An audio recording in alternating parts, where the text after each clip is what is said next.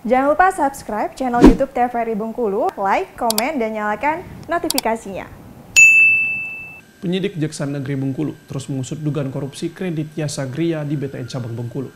Intel Kejari Bengkulu saat ini masih fokus memeriksa para saksi. Sedikitnya 30 orang saksi telah dimintai keterangan.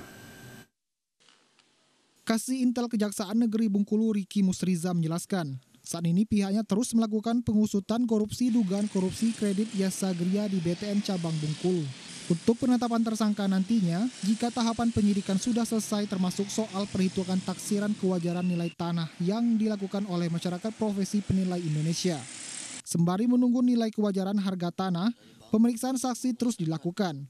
Total 30 orang saksi sudah dimintai keterangan termasuk para pejabat di BTN Cabang Bengkulu. Hanya saja walaupun sudah melakukan penyitaan lahan seluas 2,5 hektar di Bengkulu sesuai petunjuk pengadilan, untuk kerugian negara belum diketahui karena masih dalam proses. Berkaitan dengan penyitaan sebelumnya, Kasih Intel menambahkan jika penyitaan lahan sebelumnya dilakukan merupakan bagian aset yang akan dilakukan penilaian oleh Kantor Jasa Penilai Publik atau KJPP untuk nilai kewajaran tanah. Nantinya nilai kewajaran tanah akan digunakan untuk menjadi dasar perhitungan kerugian negara. KYG kita masih fokus pada proses penilaian kewajaran harga tanah. Mm-mm. Saksi masih diperiksa bang ini bang? Uh, masih ada beberapa, namun kita masih fokus di perhitungan. Berapa orang saksi bang ini bang? Uh, masih sekitar 20 sampai 30 orang. Bakal ada pemanggilan pejabat bang? Kita fokus dulu ke penilaian, setelah penilaian baru.